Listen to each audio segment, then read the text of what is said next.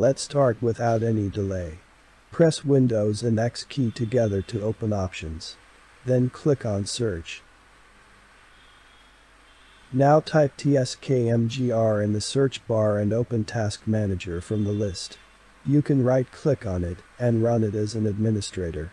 Now pay attention, for some user Task Manager can open in a quick mode, so if this is the case then you need to click see details link to open it in a regular mode.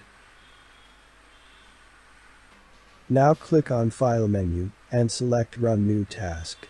Then we need to select a file so click on the Browse button. Just follow my screen. Open C drive. Move to this folder. Then try to find a file with name CMD here, right. Select it and click open. Now pay attention at this point. Now we have to run this task as an administrator writes. So make sure you check this box. And then click OK. Now a command prompt will open up. Type this command, which is gp update. This will take a few seconds to complete. You can pause the screen till then. Now since it is executed, just type cls.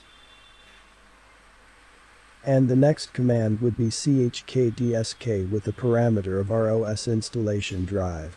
In my case it is C drive, just cross verify the results with my screen. Make sure it is executed well.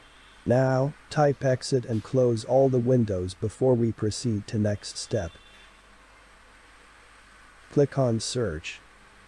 Then type device manager in the search box. Open device manager from the list. Then expand display adapters drop down. Open your display adapter from the list. Right click on it and select update.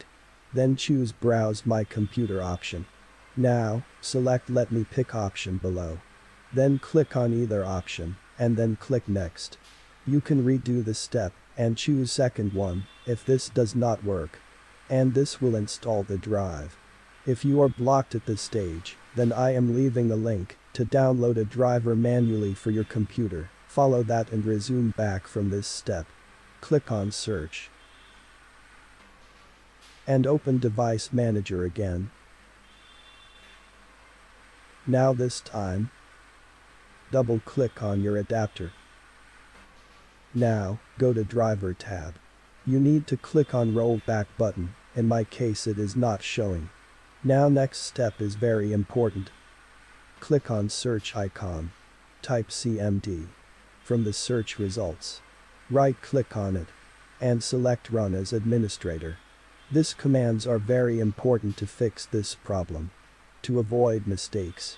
You will get all commands in description below. Copy them and simply right click on CMD to paste it. And hit enter to execute them for each command. At the last, type sfc sap slash scan now. And hit enter. It will take some time to complete its process. Wait for it. And finally restart your system. That's it guys. Your problem is solved.